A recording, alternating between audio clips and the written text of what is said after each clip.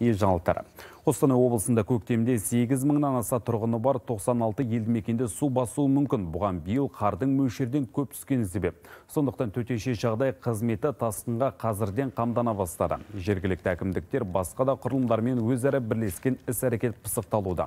Тұрғындар арасында да түсіндіру ескерту шаралары жүргізілді. Бірінші наурыздан бастап су ағатын сайсала мен өзен арналарын тазарту жоспарланып отыр. Сонымен қатар елді мекендердің тұсындағы бөгеттер биіктетіліп бекітіледі. Қазірдің өзінде 130 тонна жанар жағармай 10 мың тонна құм 40 мыңнан астам құм толтырылған қап дайындалған. Осы уақытқа дейін аймақтағы елді мекендерден 568 мың текше метр қар шығарылған. Қарағанды облысынан ұлытау тауларынан келеді деп ойлап отырмыз. Сонда мына гидрометтің ақпарат берген мәліметтер бойынша сол жақтан биыл су көбірек келеді деп отыр. Челябинск облысынан келетін суды олармен біз өз әріптестерімізбен март айында кездесіп тағы да сөйлесеміз.